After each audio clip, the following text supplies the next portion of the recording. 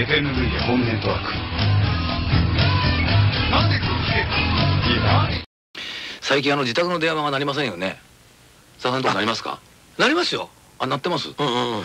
僕なんかほとんど最近うちの電話はファックスぐらいですかね鳴るのがはあはあはあはかけることもしないですからねうちの電話で。やもううちにいるだろうと分かってると事務所からも、ええ。あのかかってきますよねまずうちの電話に。でそれでいないとなると携帯っていう。携帯ですかあうん。でも確かに少なくなりましたね。ー少ないですよね。だから留守電とかがいらなくなってきちゃって。あ自分のうちも俺もう留守電してないですよ。ああそう。ほとんど。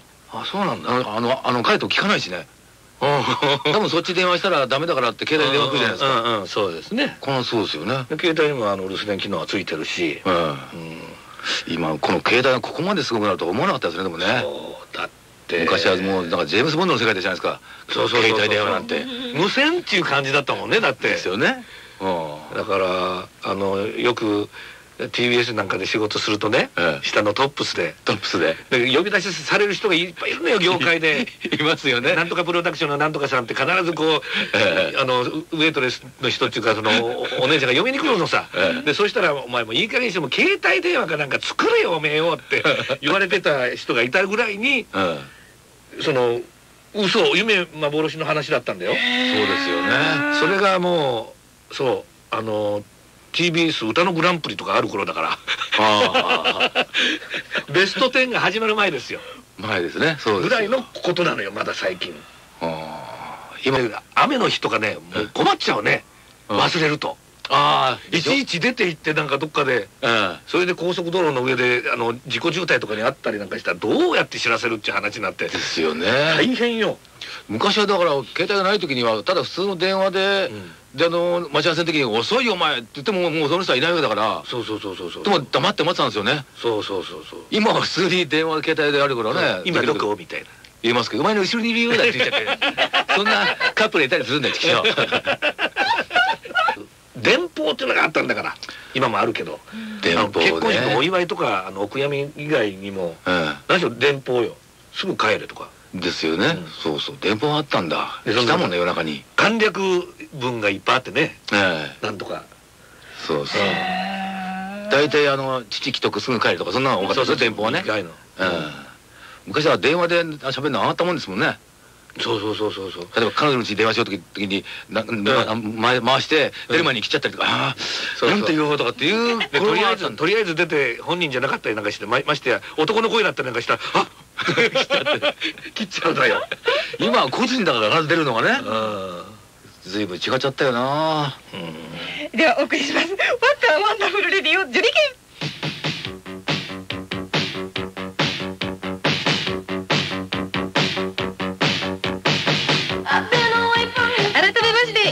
して1週間のご無沙汰でした。沢田研二さんと志村けんさんがおしゃべりをしています。ファッターワンダフルレディオジュリケンあの今志村さん電話をかけるポーズでこうやって人差し指で回してましたけど今きっとやっても分かんない若い子ほとんどでしょうね。だって時々あれであの突っかかってあのまた一からやらなきゃいけなくなるんだよあれ。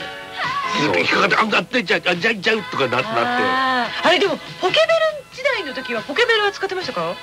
思ってない。ポケベルはなんか嫌だよ。あんな見えない鎖みたいなもんね。あれやですよね。えー、でも携帯電話があって。言われたよ。そうし持ったてこともないですか持ってほしいとか言われたけど。あやだやだ。僕ら最初に使ったのはとりあえず車の電話ですよ。そうそう。おしゃれと思っちゃったもんね。うん、だからあれ取り外し取り外しできてでっかい子ショルダーショルダーになるようになってるそうそうそう。そんなでかい頃このぐらいのね大きさのあ本当箱って感じですね。大きい陶器みたいなものさ。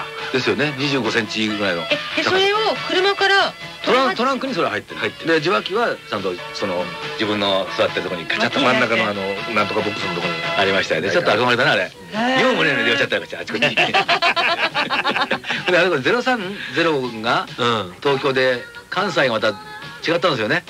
かけると。そうそうだね。あそうだそうそういう時期あったんだよ。そうだ。そうそう今なんてカメラ付きですからね。まあね捉えたことあるよ。でその中で？ネタフリこうやってサングラスしてねうんネタフリしてたらね近づいてくる人がいるのよ。うんでこうやってずーっとねうんひ光ったの。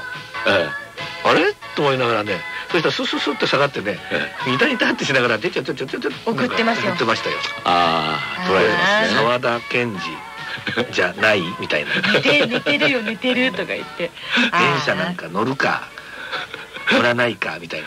そうなんですかね。携帯電話すごいなねまあ便利っちゃ便利ですよでもねいや本当便利だわ。すごいねやっぱり。すごい。うん。えちなみに今着メロは何ですか？お二人は。私オリジナル。佐田さんままだ作曲して。オリジナルよ。その時期にいっぱい作ったから。あその時期に。夏作ってないのよ夏を。